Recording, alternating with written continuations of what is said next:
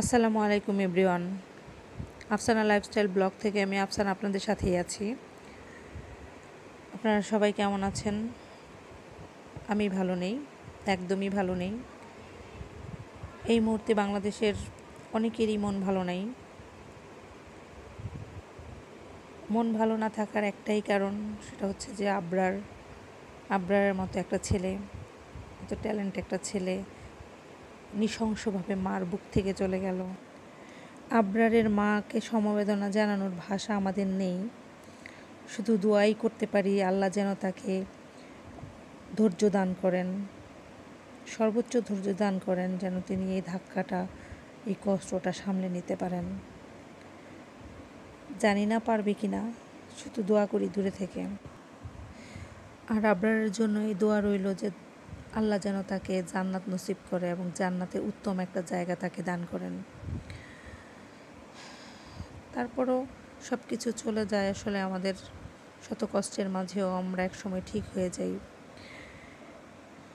তিন চার দিন আমি একদমই ভিডিও দেইনি, আমি দিতে পারিনি, আমার মনটা অনেক অস্থির ছিল।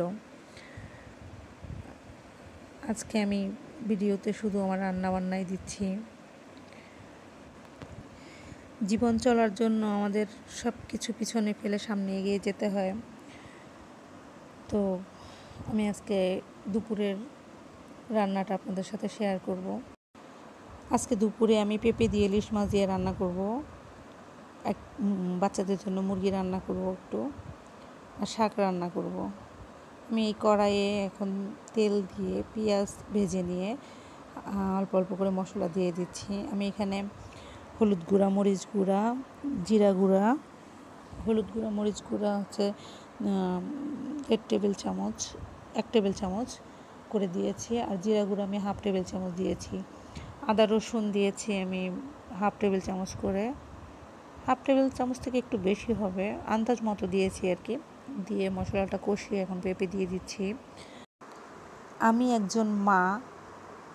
আমার সেই মায়ের জায়গাটা থেকে আপনাদের জন্য আমার প্রচণ্ড খারাপ লাগছে, যেটা আমি আসলে বলতে পারব না, বোঝাতে পারব না কাউকে। কিন্তু আমার সব কিছু এলোমেলো লাগছে, অস্থির লাগছে।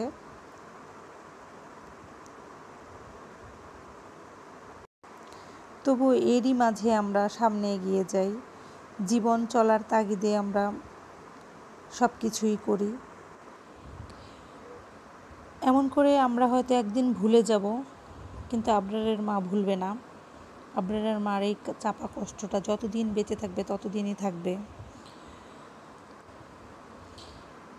তাই আমি আল্লাহর কাছে প্রার্থনা করি, এভাবে যেন কোনো মায়ের কোল খালি না হয়। পেঁপেটা কষিয়ে, আমি ভালো করে কষিয়ে আমি এটাতে জল অ্যাড করে দিয়েছি। জল দিয়ে আমি এটা ঢেকে দিই ঢেকে দিব। অন্য একটা কড়াইয়ে আমি তেল দিয়ে তেল গরম হওয়ার পর পেঁয়াজ দিয়ে দিচ্ছি, এটাতে আমি চিকেন বসাবো। চিকেনটা রান্না করব এই কড়াইয়ে। তো পেঁয়াজ ভালো করে ভেজে, এটাতে গরম মশলাও দিয়েছি। দুটো তেজপাতা, দারচিনি, এলাচি দিয়ে দিয়ে কিছুক্ষণ ভেজে নেব।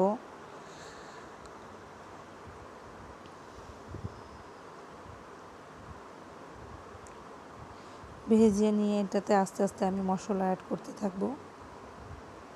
পানি দিয়ে তারপর মশলাটা অ্যাড করব আস্তে আস্তে।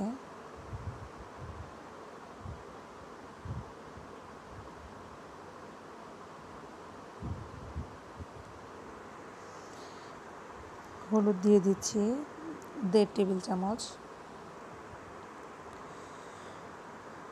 এটা আসলে আমার টেবিল চামচ থেকেও কম। আমার যে চামচটা আছে ওটা এক চামচ। দিয়ে দিয়েছি। জিরা গুঁড়া দিয়ে মরিচ দিয়েছি এক এক চামচ। জিরা গুঁড়া হাফ চামচ, ধনে গুঁড়া হাফ চামচ। দিয়ে একটু মশলাটা কষিয়ে নিচ্ছি। এখন এটাতে আমি আদা, রসুন দিয়ে দেবো। আদা এক টেবিল চামচ থেকে একটু বেশি। রসুনও এক চামচ টেবিল চামচ থেকে একটু বেশি। রসুন দিয়ে আমি মশলাটা ভালো করে একটু কষিয়ে নেব। এই ভিডিওটি যদি আপনাদের ভালো লাগে, তবে ফ্রেন্ডস অ্যান্ড ফ্যামিলির সাথে শেয়ার করবেন সাবস্ক্রাইব করবেন, পাশে থাকা বেল আইকনটি পুশ করে দেবেন। এতে করে যখনই নতুন ভিডিও আপ আপলোড করব, আপনাদের কাছে নোটিফিকেশন চলে যাবে। একটা লাইক দেবেন। লাইক দিতে ভুল করবেন না। লাইকটা আমার কাজের উৎসাহ। আমি চিকেনগুলো দিয়ে দিচ্ছি।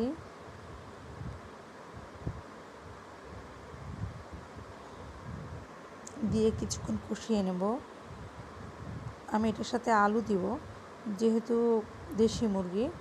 আমি এটা ভালো করে কষিয়ে একটু হালকা সিদ্ধ করে নিয়ে তারপর আমি আলুটার সাথে দিব। আলুটা দিয়ে আবার একটু কিছুক্ষণ কষাবো, কষে, কষিয়ে তারপর জল দিয়ে দেব। বাচ্চাদের যেহেতু আমার দুইটা বেবি খাবে, তো এই জন্য ঝালটাও আমি একদমই কম দিয়েছি।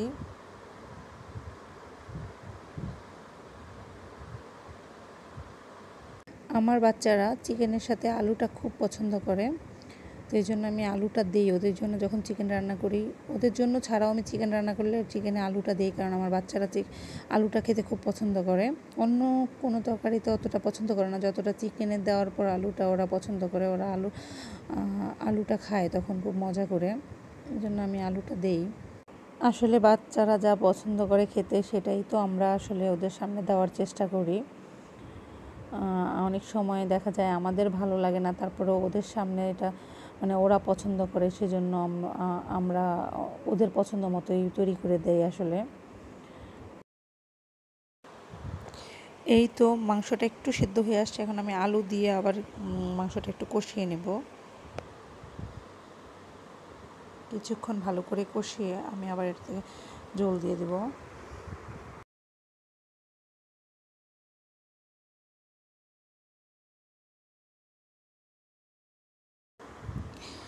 যেহেতু দেশি মুরগি, সেহেতু পানির পরিমাণটা একটু বেশি দিতে হবে, কারণ সিদ্ধ হতে দেরি লাগবে। আমি একটু বেশি করে পানি দিয়ে দিচ্ছি, আর বাচ্চারা মাংসটা একটু নরম না হলে আর খেতে পারে না। এই তো ঢেকে দিয়ে আমি একটু হাই হিটে প্রথম পাঁচ মিনিট রান্না করব, তারপর আমি হিটটা কমিয়ে মিডিয়াম টু লোয়ের মধ্যে রাখব। আর অন্য একটা কড়াইয়ে আমি মাছগুলো ভেজে নিচ্ছি। মাছটা ডিমওয়ালা ছিল। প্রচুর তেল উঠেছে, আপনারা দেখতে পাচ্ছেন মাছ থেকে। মানে ফ্লেভারটাও সেরকম সুন্দর বের হয়েছে।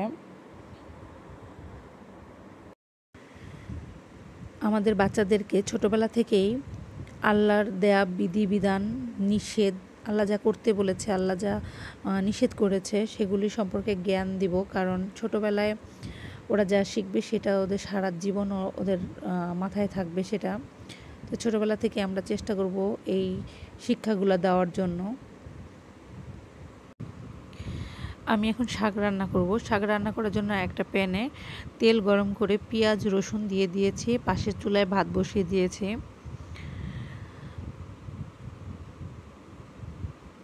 তো ভাতটা ভাতটা আরও একটু আগেই বসিয়েছি। ভাতটা প্রায় হয়ে আসছে। ভাতটা আমি এখন কিছুক্ষণ পরে নামিয়ে নেব। তো পেঁয়াজ রসুনটা একটু ভালো করে ভেজে, তারপর আমি শাকগুলো দিয়ে দিচ্ছি।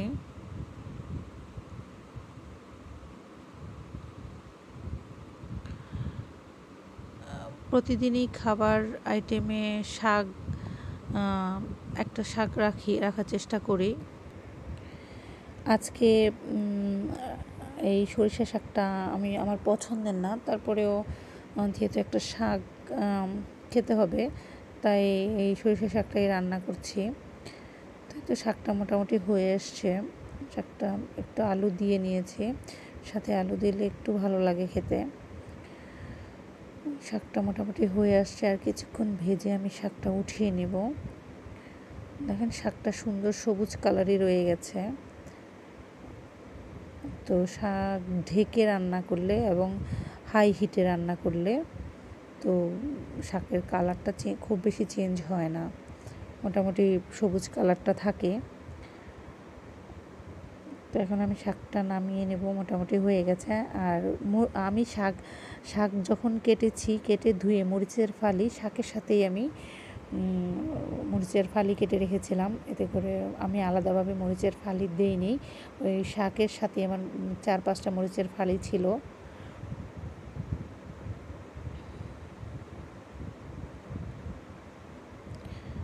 তো শাকটা আমি এখন নামিয়ে নিয়েছি, টেবিলে পরিবেশন করে দিয়েছি। এখন বাচ্চারা খাবে, আগে বাচ্চাদের খাইয়ে দিতে হবে। ইস্পির হুজুর আসার টাইম হয়ে গিয়েছিল, তাড়াহুড়া করে আমি খাইয়ে দিয়ে, দিতে বসেছিলাম। আর এই তো এখন এটা বিকেলবেলা সন্ধ্যা, মাগরিবের আজানের একটু আগে।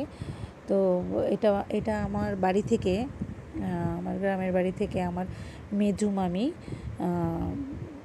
এটা চাল কুমড়ার পিস করে এটা কেচে হালকা ভাব দিয়ে পাঠিয়ে দিয়েছে। এখন আমি শুধু এটা চিনি, এটাতে চিনি অ্যাড করে, একটু দারচিনি এলাচি অ্যাড করে মরব্বাটা বানিয়ে নেব। তো এটা আমি আজকে একদম বানিয়ে নেব না। আমি এটা চিনি দিয়ে আমি এখানে প্রায় হাফ কেজির উপরে, প্রায় পনে এক কেজি চিনি দিয়েছি। তো আমি এটা পরপর দু তিন দিন একটু জাল করতে থাকব। তো এই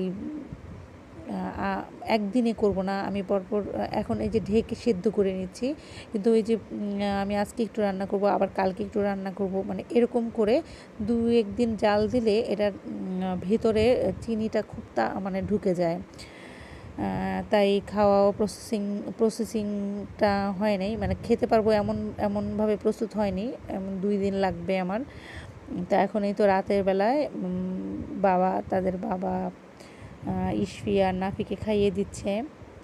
ওরা টিভি দেখছে আর খাচ্ছে। নাফিও একটু দুষ্টুমি করছে খাওয়ার সময়। তো ইসফিও দুষ্টুমি করছিল, ওর বাবা আবার বকা দিয়েছে যে বসে এক জায়গায় স্থির হয়ে খেতে হয় এরকম বলে ও এখন বসে গিয়েছে। দুষ্টুমি করছিল ও। এখন নাফি তো বুঝে না, ও দুষ্টুমি করছে। মাঝে মাঝে এসে ওর বাবার কাছ থেকে নিয়ে যাচ্ছে। আবার ইশফি বলছে যে, ও দুষ্টমি করছে, তোমরা ওকে কিছু বলো না। মানে এরকম আর কি। ওকে আবার বোঝানো হয়েছে যে, না, ও ছোটো। যাই হোক, এই ভিডিওটা আমি আর বড় করব না। আজকে এই পর্যন্তই। অনেকক্ষণ অনেক কথা বললাম। ভুল ত্রুটি হলে ক্ষমা করবেন। সবাই আমাদের জন্য দোয়া করবেন। আসসালামু আলাইকুম।